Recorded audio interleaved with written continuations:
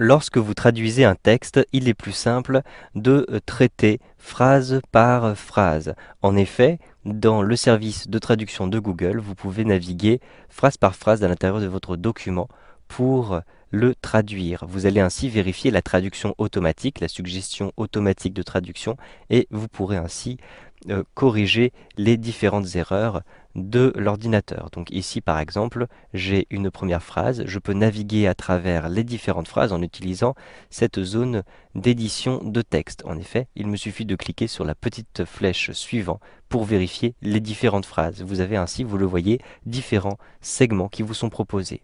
Ici, j'ai par exemple un segment que je trouve un peu grand. Je souhaite le diviser par deux, d'autant que ici, je vais avoir un point et une deuxième phrase.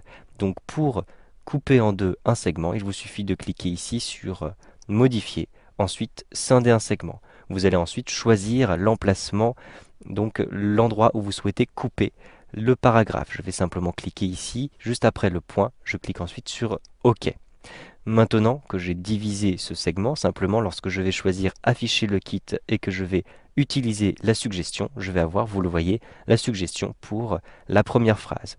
Je vais réduire la taille du volet qui se trouve juste en bas, comme ceci pour atteindre le segment suivant. Je clique ici sur suivant et de la même manière que tout à l'heure, je retrouve ici utiliser la suggestion et vous le voyez, j'ai maintenant les deux phrases qui sont séparées. Je peux maintenant fermer le kit en cliquant ici sur afficher le kit. Je décoche afficher le kit. Vous avez ainsi la possibilité, vous le voyez, de travailler segment par segment. Ici, vous avez la possibilité d'afficher à l'intérieur de cette zone d'édition le nombre de caractères à l'intérieur d'un segment. Cela peut vous aider à décider de scinder ou non un segment. Donc simplement, il me suffit de cliquer sur afficher à l'intérieur du menu qui apparaît, choisissez affichez le nombre de caractères dans le segment et vous aurez le nombre de caractères qui apparaît ici. Si vous trouvez finalement que votre segment est trop petit, vous pouvez le fusionner avec le segment précédent ou suivant. Il vous suffit de cliquer à nouveau sur modifier, ensuite choisissez fusionner les segments. Un simple clic ici et vous pouvez choisir de le fusionner avec le segment suivant, donc qui est quand même assez long.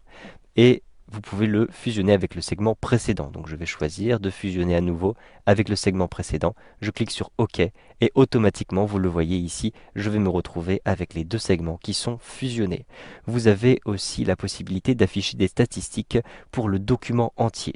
Cliquez simplement tout en haut dans le menu Afficher et à l'intérieur du menu déroulant qui apparaît, choisissez tout en bas Statistiques. Vous allez retrouver ici un certain nombre de statistiques. Donc vous le voyez avec la traduction en contexte qui vous donne le nombre de mots précis.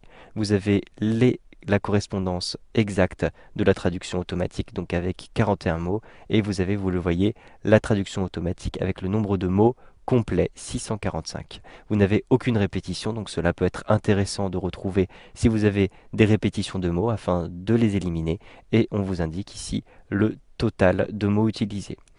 Lorsque vous avez euh, consulté ces différentes statistiques de traduction, cliquez simplement sur OK.